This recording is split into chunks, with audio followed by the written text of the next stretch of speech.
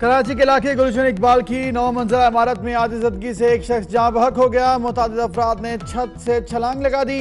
तमाम अफराद को सही सलामत बाहर निकाल लिया गया। पाक बहरिया का हेलीकॉप्टर भी इस्तेमाल किया गया।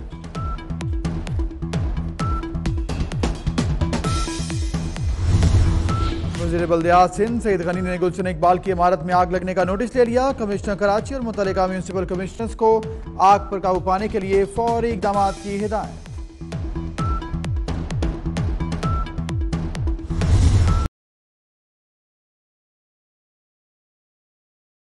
आज़ादी से लेकर अब तक हमने ये साबित किया है कि हमें दोस्ती निभानी भी आती है और दुश्मनी का कर्ज अदा करना भी। पाकिस्तान हमारी आन पाकिस्तान हमारी पहचान पाकिस्तान जिंदाबाद। पाकिस्तान जिंदाबाद। पाकिस्तान जिंदाबाद। पाकिस्तान जिंदाबाद। पाकिस्तान जिंदाबाद। पाकिस्तान जिंदाबाद। पाकिस्तान जिंदाबाद। पाकिस्तान! पाकिस्तान जिंदाबाद।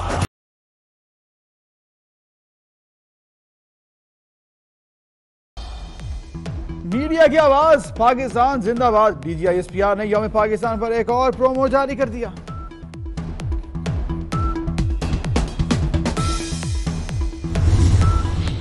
सबक वजी अजम मियाँ मोहम्मद नवाज़ शरीफ से वालदा बेगम शमीम, शहबाज शरीफ और मरीम नवाज़ की कोट लखपत जेल में मुलाकात। मियाँ नवाज़ शरीफ के साथ ही मौलज, डॉक्टर अदनान भी मौजूद।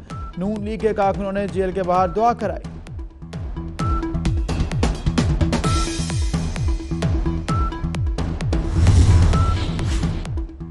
वज़ीर इतलात फवाद चौधरी का कहना है कि मरीम नवाज़ की बेचैनी समझ सकता हूँ, ये बाहर नहीं जा पा रहे। जेलों में आज पैंतीस एकड़ रकबे पर दरख्त लगाए जाएँगे। भारत में समझौता एक्सप्रेस के मुलजमान को बरी करना भारतीय निज़ाम इंसाफ के मुँह पर तमाचा है।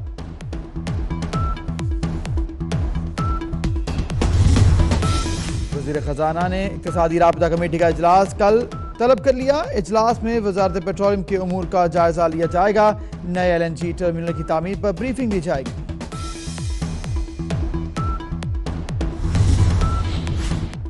बिलावल भुट्टो की कठपुतलियों के आलमी दिन पर इमरान खान को मुबारकबाद। चेयरमैन पीपल्स पार्टी ने ट्विटर पैगाम में पीटीआई हुकूमत को भी योम कठपुतली की मुबारकबाद दी। फवाद हसन फवाद की मुश्किल में मजीद इजाफा, आमदन से जायद असासों में उनतालीस गवाहों की फहरिस्त तैयार। रेफरेंस के ट्रायल का बाकायदा आगाज़ दो अप्रैल से होगा। और कराची में रवान साल का पहला पोलियो का केस सामने आ गया। लियारी सिंगोलिन की साढ़े तीन साल की सफ़ा भी वायरस पाया गया। महकमा सेहत सिंध ने बच्ची में पोलियो वायरस की तस्दीक कर दी।